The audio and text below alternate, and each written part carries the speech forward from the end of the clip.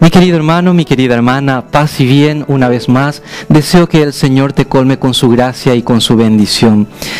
En este día la iglesia celebra la solemnidad de Jesucristo, sumo y eterno sacerdote, aquel que de una vez y para siempre ofreció el sacrificio verdadero al Padre por nuestra salvación. El Evangelio hoy nos presenta a un Jesús que instruye a sus apóstoles diciéndoles, denles ustedes mismos de comer, refiriéndose a toda aquella multitud que se encontraba alrededor. Podríamos decir también que es el mismo mensaje que brinda hoy Jesús a todos y aquellos sacerdotes que participan de ese único sacerdocio verdadero de Cristo.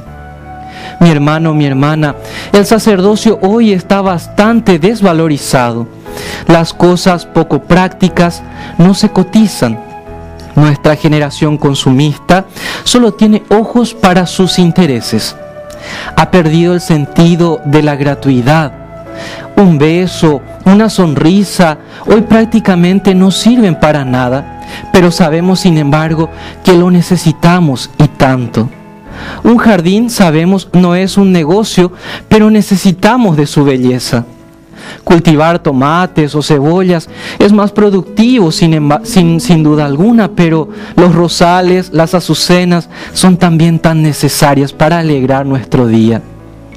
El sacerdote, veamos, es aquel que sirve. Siempre está sirviendo es en un mundo lleno de rencores y envidias el sacerdote quien porta el perdón. Es aquel que está siempre dispuesto a recibir confidencias, descargar conciencias, a aliviar desequilibrios, a sembrar confianza y paz. El sacerdote hoy es también aquel que ilumina. Cuando nos movemos muchas veces a ras del suelo, Él nos señala el cielo cuando nos quedamos en la superficie de las cosas, nos descubre a Dios en lo más profundo de nuestros corazones. El sacerdote también es aquel que intercede, aquel que podemos decir amansa inclusive el corazón de Dios, porque le hace propicio, le da gracias, da a Dios el culto debido, aquel que impetra sus dones.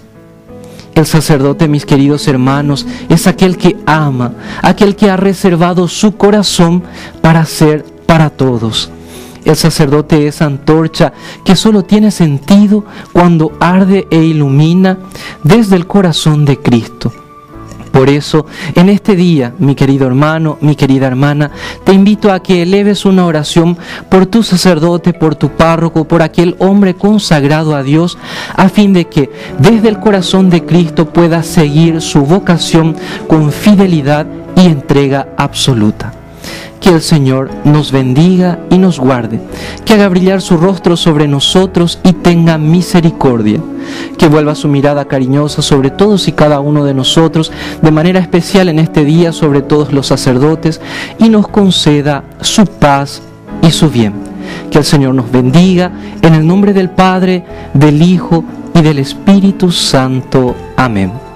Paz y bien.